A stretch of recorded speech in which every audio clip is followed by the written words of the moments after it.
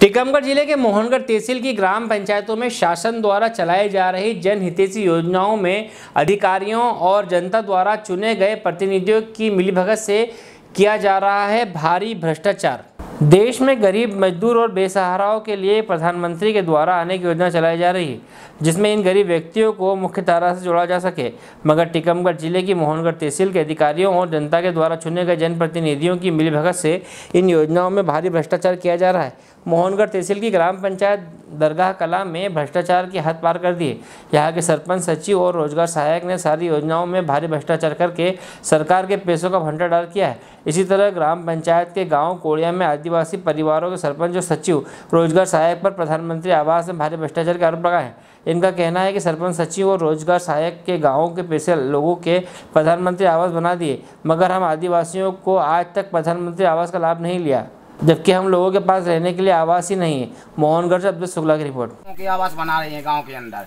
और छोटे आदमी कहते हैं तो उनकी कोई कहने का मतलब है। तात्पर्य है कि भ्रष्टाचार कर रहे हैं? हाँ भ्रष्टाचार मचा ही है भ्रष्टाचार तो। गरीब इंसान के साथ भ्रष्टाचार मचा है जो गाँव में ठाकुर यादव है उनके साथ नहीं मचा है। उनके साथ जाके देखिए उनका आवास बन चुका है। हमारा जो मकान देखिए हम इसमें रह रही है। क्या है रामदाल रोज़गार सहायक का उनका आशीष। कहिए आपने इन लोगों से आवास के लिए। हमने कहा है वो हमारी सुनते ही नहीं है वो। वो तो कहते हैं। हम कहा देंगे कहा देंगे ऐसे कई साल निकाल गई हमारा नहीं करा रही हैं। पहले बड़े बड़े हमारे जो गाँव में सरपंच माने ठाकुर हैं यादव हैं उनके आवास बना दिए हैं लेकिन हमारे वंशकारों के आवास नहीं बनाए उन लोगों ने। हाँ। अम्मा आपका नाम? कहाँ की निवासी हो? आप अभी जो निवास किए हुए हो जो ग्राम पंचायत का सामुदायिक भवन है इसमें क्यों रह रही हो? सब घर नहीं है तो रह रहे हैं। घर नहीं है आपका? तो आप कितने वर्षों से इसमें रह रही हैं? दस बारह साल से रह रहे हैं। और गाँव में अभी अपने देश में माननीय प्रधानमंत्री जी के द्वारा जो गरीब आवासहीन या जिनके कच्चे आवास हैं उनके लिए प्रधानमंत्री आवास के तहत आवास दिए जा रहे हैं। आपको नहीं मिला? सर अभी नहीं मिला कह रहे दो साल में बन जाएँगे। दो साल में बन जाएँगे हाँ, आपकी। कुछ जगह आ जाएगी तो बन जाएगी। अच्छा और एक बात और बताओ भाई गाँव में कछु आदमी इनके आवास बने हैं? हाँ बने हैं जी। कितने लोग हैं इनके? बहुत से जनान के बने हैं। किस किस समाज में बने जी बता सकती हैं? सब बने तो सब समाज में बने सब में बनी हाँ, और आदिवासी को कितने मिली? जानकारी नहीं है आपको। आपके कितने बच्चे हैं? इनके पापा कहाँ गए? कितने साल पहले? अच्छा तो अब आपके पास ज़मीन है कछु खेती बाड़ी की? नहीं है फिर जीवन यापन कैसे हो रहा हो आपको?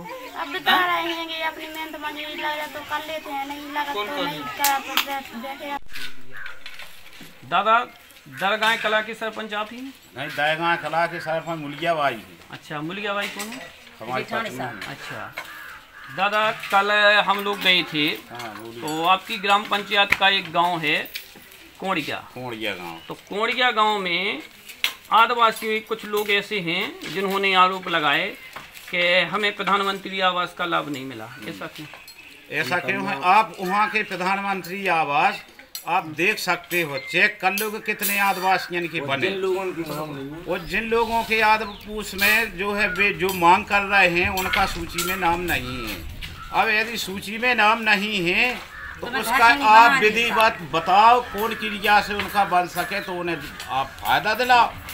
एक दादा छोटा सा सवाल तो उस गाँव में कुछ लोग ऐसे हैं कि जिनके पच्चे पक्के मकान भी हैं। और मोटरसाइकिलें हैं। हाँ। और इसके बाद ट्रैक्टर भी लेकिन उन लोगों के कैसे बन गए और कैसे आवास में नाम जुड़ गया? उनके नाम जुड़ गया है शायद 2011 में सर्वे हुआ था। उसमें उन लोगों ने उसके नाम जोड़ दिया। अच्छा। तो भाई आज उनके सूची में नाम है। सूची में नाम है तो उनके आवास बन भाई साहब बीच में नहीं। और दादा आपकी ग्राम पंचायत के कोड़िया में एक महिला है। उसका पंद्रह साल पहले पति खत्म हो गया। वो दूसरी जगह उसकी शादी हुई थी, तभी से वो यहाँ आके रह रही है। और मकान भी नहीं है, एक साथ की छोटी सी बिल्डिंग है और बच्चों सहित। उसे आवास भी नहीं मिला, शौचालय भी नहीं मिला और उज्ज्वला योजना के तहत न गैस सिलेंडर मिला। क्या उसको कुछ सुविधाएँ दिलाने की, गाँव के प्रधान होते होने के नाते आपका कुछ फ़र्ज़ नहीं था? हमारा सूची में नाम, उसका सूची में नाम होगा। तो आपको जानकारी नहीं है इस बात की है कि हमें कोई जानकारी नहीं अच्छा। हम नहीं तक दादा वोट लेने के लिए तो सब चीजने लगते हैं फलाने ठिकाने वोट लेने के लिए वो इस गाँव ही में नहीं थी। हाँ। हाँ। पंद्रह वर्ष से रह रही है वो आपके गाँव में? हमको हम हम नहीं जानते हमारी कोई ना तो जाने है ना तो पहचान है। वो दादा एक पंडित जी हैं उनका नाम क्या है? राम नरेश चतुर्वेदी। राम नरेश चतुर्वेदी वो कह रहे हैं कि सरपंच ही हम चलाते हैं हम सरपंच प्रतिनिधि हैं। नहीं, कोई नहीं अच्छा। वो मीठे मीठे काम वाम देखा था, हम कोई बे कोई भी हम चला रहे हो। देख लेख कर रहे हैं साहब। अब जे तो दुनिया के तूफानियाँ बने। जी, बिल्कुल हम हम चला रहे हैं हम जनता के पैसा खातन में जा रहे हैं अभी तक नहीं। हम अपने काम चला रहे आपके यहाँ जो अभी प्रधानमंत्री जी ने कहा है कि कोरोना जैसी महामारी में कोई बाहर ना निकले पलायन ना करे इसलिए नरेगा के तहत हर गाँव में काम खोला गया। तो आपके यहाँ मजदूरों का कहना था कि नरेगा के तहत हम लोगों को काम नहीं मिला। अधिकांश था कोणिया के लोग ऐसे बोल रहे थे। सब जन। हमारे काम की जाँच हमारा तो काम जाँच कर। लो। लग है आज की तारीख में कितने मजदूर नरेगा के तहत आप किसमें काम कर रहे हैं? तो हम तो बोल रहे हैं आपको जाँच करवा लगभग कितने लोग? लगभग हमारे साढ़े तीन सौ आदमी। Per day? हाँ? वो अब जनता से आज भी काम लगा है। आज निकल रहे अब दो तीन दिन से तो कितने लोग शाम से तो बंद ही है तो अच्छा चलो ठीक है दादा इस बात को छोड़ो। गाँव के सरपंच होने के नाते आपका महिला के प्रति कुछ संवेदना बनती है कि नहीं?